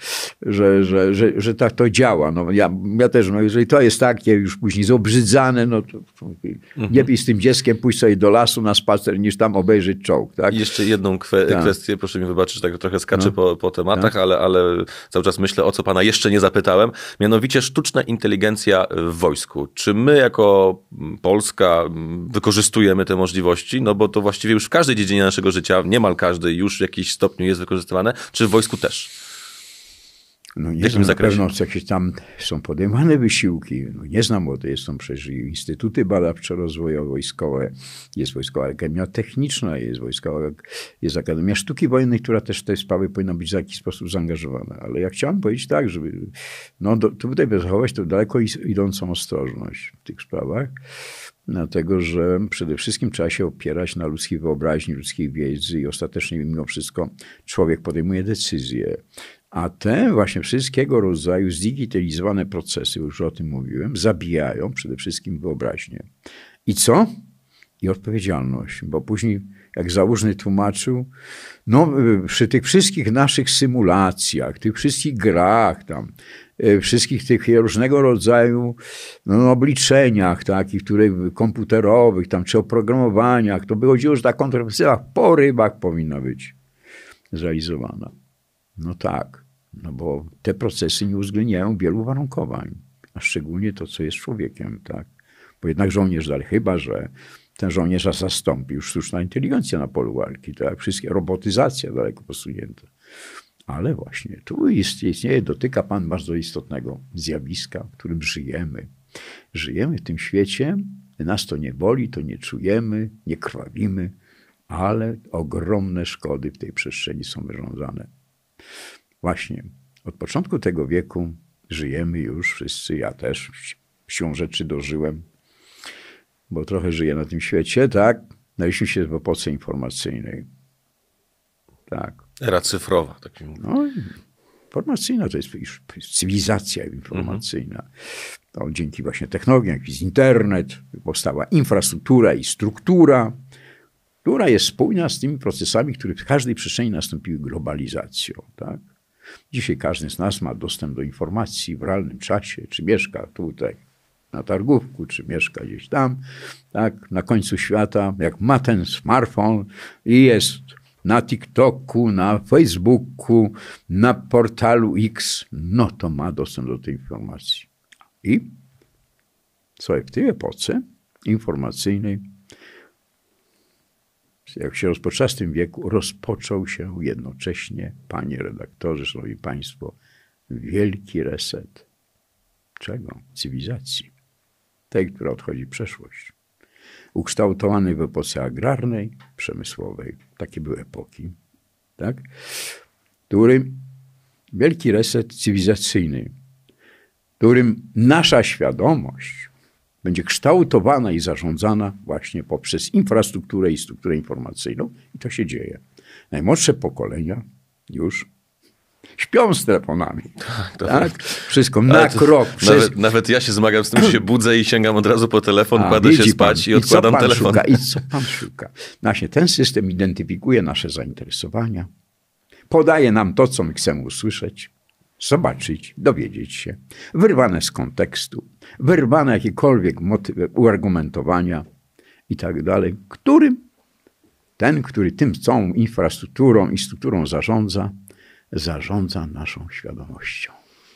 I to jest groźne. Niebezpieczna puenta naszej a rozmowy, gdzie, panie A gdzie są wartości, te, które były cywilizacyjne, rodzina, która kształtowała opowieści, media, które kształtowały wyobraźnię. Dzisiaj młode pokolenie jest wykastrowaną ma wyobraźnię. Przepraszam, że używam takie słowo. Wyciętą, wyciętą. Oni od, bez tego nie, nie, już niedługo zapachu ani Ale na smaku. szczęście w internecie można, można znaleźć też wartościowe ale treści, nie, nie, nie, między innymi rozmowę z panem. Ale jeszcze jedno zdanie muszę powiedzieć. Oczywiście. To jest powód do kolejnej rozmowy bardzo poważnej, bo tego brakuje u nas. My żyjemy dalej tę wojnę, która jest wojną drugiego rzędu w tej przestrzeni informacyjnej w Ukrainie. Takich wojen, proszę pana, jest dziś blisko 30 na globie, które mają charakter taki sam prawie, chociaż mniejszą skalę charakter drugorzędny i które się nie zakończą, tak wojna w Ukrainie się nie zakończy, będzie cały czas taką destabilizującą, bo żadna ze stron, która w tej wojnie uczestnicza i tych stronników jest wielu, tam nie jest tylko Ukraina, tak? nie jest tylko Rosja, tam są Chiny, tam są Stany Zjednoczone, tam są wszyscy gracze, każdy tu chce coś ugrać. Tak? Nie jest zainteresowany, że ta wojna się tylko zakończyła. Dlatego między innymi tak ta pomoc jest okazywana, że Ukraina nie może tą wojnę przegrać, a Rosja nie może wygrać. Tak? Ukraina nie może wejść do NATO, jeżeli nie wygra tą wojnę. A z drugiej strony w 90%, żeby ona wygrała tą wojnę, to zależy od Zachodu. Tak? No widzi pan, jaka to, to czyli widzi pan, jaka jest to aberracja? Clinch. I teraz w tej epoce naszej powstała, no, powstaje nowa elita, już ona jest, która jest życiem po kapitalizmie. To nie są ci kapitaliści tam w epoce przemysłowej. A kto takim sztandarowym przykładem jest Elon Musk, tak? Kto to jest netokrata? Sieciowa elita sieciowa, która zarządza. Co on robi? On mówi, że NATO jest niepotrzebne. No przecież NATO to jest przeżytek. Przecież układ, to jak istniał Układ Warszawski, to było potrzebne. I on to sieje już całej przestrzeni globalnej ma wpływ na wybory w Stanach Zjednoczonych. Za kim on staje w wyborach? Za Trumpem, tak? A kto to jest Trump? A co on mówi? No trzeba to widzieć. My że możemy wiele rzeczy robić. Netokrata, który ma potężny majątek. Dzisiaj netokraci, proszę pana, zarządzają budżetem blisko 45% PKB światowego. Czy pan myśli, że oni mają wpływ na wybory? Oczywiście. Że, jeżeli mówimy, że Rosja miała wpływ na wybory we Francji, w Anglii, tam gdzieś e, w Stanach Zjednoczonych, co to, te netokraci nie mają wpływu? Mając takie pieniądze, a co oni mówią? Mając taką sieć, tak? Niech pan przeczyta jego informacje. I na, na Twitterze, przecież ja, ja go obserwuję, tak? I widzę, co on, co, i co, o czym on zarządza. Mhm. I teraz Rosjanie to samo robią. Zarządzają. Nasi generałowie, będący w stanie wypoczynku, jak to nazywam, tak? Ja jestem w stanie też wypoczynku, eksperci, w dużej mierze są ich świadomość, ich ocena wojny w Ukrainie jest zarządzana przez rosyjską wojnę informacyjną. Dezinformacyjną. Dezinforma czy wojna informacyjna. Istocie, tak. a, dez a dlaczego? No pytanie sobie trzeba stawiać dlaczego. Jak to się dzieje? Dlatego, że Rosjanie podają nam to, co chcemy o nich usłyszeć. Ale co my chcemy o nich usłyszeć? Że kacapy, że pijaczki, że rozstar nie potrafią dowodzić, że ta armia się rozsypie, że Rosja upadnie, Rada amunicji zabraknie. A jednocześnie jak dochodzą do nas informacje, że oni mają no, niezwykłe zdolności odtworzeniowe, to otwieramy szeroko oczy. Jak to ta Rosja, która no, jest taka słaba? No, to na tym polega, bo Rosjanie, wie pan, mnie zazdroszczą, że ja tam, Amerykanie mnie zazdroszczą, tylko nie Polacy. Tak? Mnie Polacy to wytykają, stygmatyzują. Natomiast Amerykanie, generałowie amerykańscy, czy Galvin, który się spotykałem w 1991 mhm. roku naczelnym dowódcą wojsk NATO w Europie, czy z Colinem Powellem, czy z Neumannem, szefem Bundeswehry, który później komitetem wojskowym zarządzał NATO, czy z generałem Hodgisem, to powiedzą, panie generale, my panu no, możemy wiele rzeczy nie zdać, ale że pan tam studiował, poznał ich pan myślenie i, i sztukę bojowania, to wie pan, no to jest bardzo cenna rzecz. I mnie o to wypytywano, wie pan? A my to stygmatyzujemy. jest to zarzut, I, tak. I, teraz Rosjanie... Inaczej się to, kiedyś nie dało. No, ale, właśnie, ale, ale no, to, to, to, to jest... No pewnie, że się nie dało. Przecież nie, ale to jest... Oni, to jest moje... Dlatego te oceny są są wiarygodne, tak? Mhm. A to, ja, czy siła intelektualna naszych wojskowych elit polega, polegać powinna, że my to demaskujemy, a nie powtarzamy, tak. nie transmitujemy. Wie pan, co się dzieje? No właśnie, bo Rosjanie mają tak.